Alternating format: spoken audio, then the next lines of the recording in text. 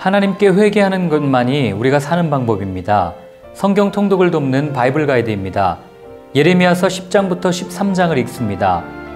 죄로 오염되었다. 이스라엘을 향한 하나님의 진단입니다. 이에 따른 처방전은 분명합니다. 고난과 벌입니다. 기대되는 결과는 깨달음입니다. 하나님께서는 고난을 통해 이스라엘이 정결하게 되기를 바라셨습니다. 그러나 사명감을 가지고 외치고 있음에도 듣지 않는 사람들, 변화되지 않는 현실을 보는 예레미야의 마음은 어떠했을까요? 깊은 자괴감에 빠지지 않았겠습니까? 오늘 읽을 본문은 이러한 예레미야의 마음을 잘 표현합니다. 10장은 하나님의 백성을 멸망으로 이끈 우상숭배에 대해 이야기합니다. 2절에 여러 나라의 길을 배우지 말라고 말씀하시는데 이유는 이방 사람들은 하늘의 징조를 두려워하는 자들이기 때문입니다. 두려움은 우상숭배의 출발점입니다. 미래, 죽음에 대한 문제를 해결하기 위해 사람들이 선택한 것은 나보다 더 오래 사는 것들, 강한 것들, 신비한 자연현상을 숭배하는 것이었습니다. 그게 토테미즘, 샤머니즘, 애니미즘입니다. 하나님께서는 월식, 일식, 별의 위치 변화 등 자연현상을 보고 두려워하지 말라고 하십니다. 창세기 1장 26절부터 28절에 나와 있듯 피조세계는 하나님의 형상대로 지음받은 우리가 다스리고 관리할 대상이지 섬기거나 숭배할 대상이 아니기 때문입니다. 그렇게 만든 우상은 어떻습니까? 생기가 없도다, 헛것이다. 사람이 손으로 만든 우상, 그것은 거짓이며 생명을 주지 못한다고 선언하십니다. 또한 조각한 신상이라는 표현을 통해 결국 우상은 만들어낸 허구임을 고발하십니다. 24절에는 우상 때문에 심판을 받을 수밖에 없는 백성들을 향한 예레미야의 안타까운 심정이 드러납니다. 심한 병에 걸려 수술을 해야 하는 아이가 아프다고 소리칠 때 부모의 마음은 편하겠습니까? 마음은 아프지만 수술방으로 보내야 합니다. 그래야 살기 때문입니다. 이것이 예레미야의 마음입니다. 여호와여 나를 징계하옵시되 너그러이 하시고 진노로 하지 마옵소서. 이는 죄로 인한 하나님의 심판을 피할 수 없다면 그것만이 이 민족이 사는 방법이라면 달게 받겠습니다. 그러나 너그럽게 해주십시오 라는 간청입니다. 마치 누가복음 23장 34절에 나오는 저들의 죄를 용서하여 주십시오. 무슨 일을 하는지 알지 못합니다 라는 예수님의 말씀이 떠오르지 않으십니까? 이 마음이 신앙을 가진 우리가 세상을 대하는 마음이었으면 좋겠습니다. 예레미야서 전체에 21번 언급되는 언약이라는 단어가 11장에서만 5번 나옵니다. 하나님께서는 출애굽 사건을 언급하시며 순종을 기대했지만 불순종한 그들의 모습을 지적하십니다. 하나님께서 약속을 지키라고 말씀하시는 모습을 보고 약속 안 지켜? 약속 지켜야지. 마치 채권자가 채무자에게 독촉하는 것 같다고 오해하는 분들도 있습니다. 하나님과 사람 사이에 맺는 약속의 성격을 잘 몰라서 하게 되는 오해입니다. 성경에 나오는 구원과 관련된 하나님과 사람 사이의 약속은 쌍방이 아닌 하나님 편에서의 일방적인 약속, 일방적인 은혜의 언약입니다. 하나님의 일방적인 은혜의 약속이 아니면 우리에게 남은 건 구원에 대한 일말의 가능성도 없는 완벽한 진멸, 멸망뿐이었습니다. 이어 재미난 표현이 나옵니다. 13절 유다야 내 신들이 내 성읍의 수와 같도다. 우상이 이렇게 많은 이유는 자신이 만든 우상보다 상대가 만든 우상이 더 효험이 있는 것 같거나 성공시켜주는 것 같으면 갈아탔기 때문입니다. 어떤 신에게도 만족하지 못하니 이 신도 섬기고 저 신도 섬겨보는 것입니다.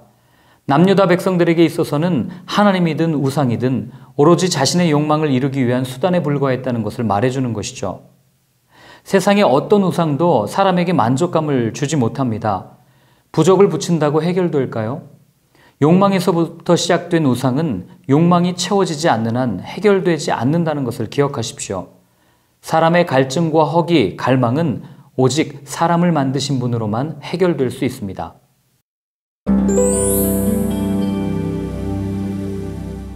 예레미야가 하나님께 질문합니다. 1절 악한 자의 길이 형통하며 반역한 자가 다 평안함은 무슨 까닭이니까? 우리도 많이 하는 질문입니다.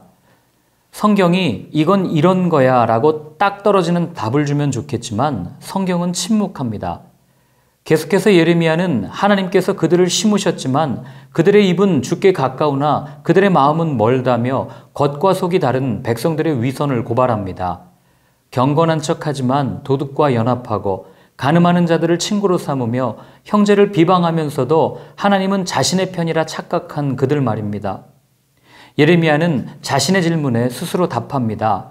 3절 주께서 나를 아시고 나를 보시며 내 마음이 주를 향하여 어떠함을 감찰하오니 양을 잡으려고 끌어냄과 같이 그들을 끌어내시되 죽일 날을 위하여 그들을 구별하옵소서.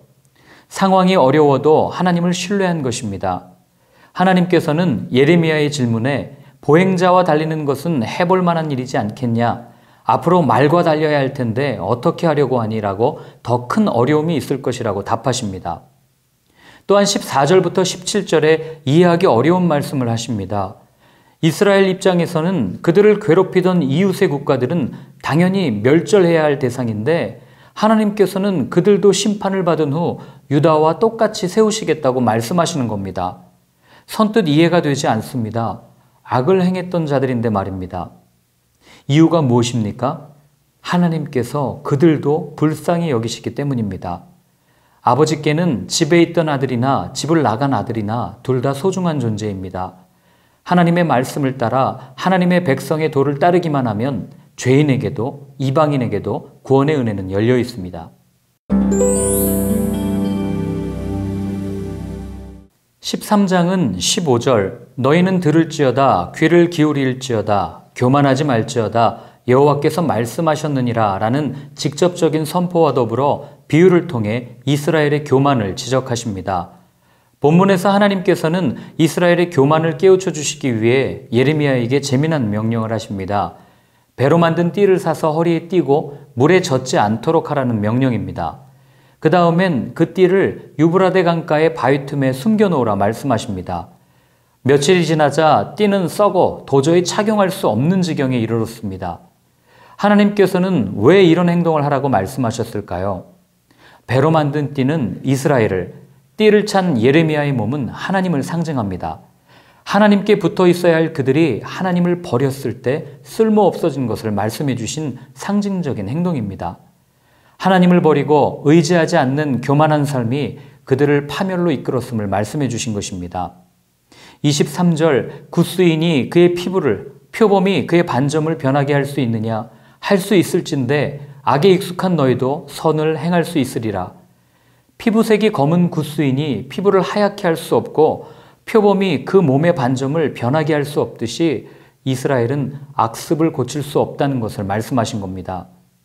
하나님께서는 거짓을 신뢰하는 그들에게 심판을 선언하십니다. 가늠하기를 즐기는 그들의 치마를 얼굴까지 들춰 수치를 드러내시겠다고 말씀하십니다. 그런데도 여전히 돌아오기를 바라시는 아버지의 모습이 그려집니다.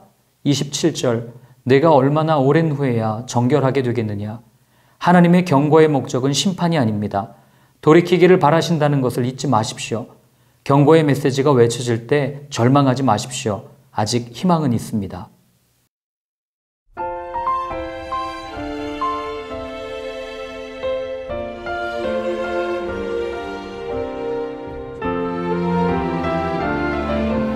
이스라엘이 우상숭배에 빠진 것이 하나님을 몰랐거나 배신했기 때문일까요?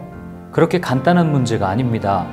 그들은 우리의 하나님은 여호와뿐이라고 외쳤지만 여호와께서 바알을 통해 복을 주신다며 우상을 따랐습니다. 종교 혼합주의가 된 겁니다. 오늘날에도 동일한 모습이 일어납니다.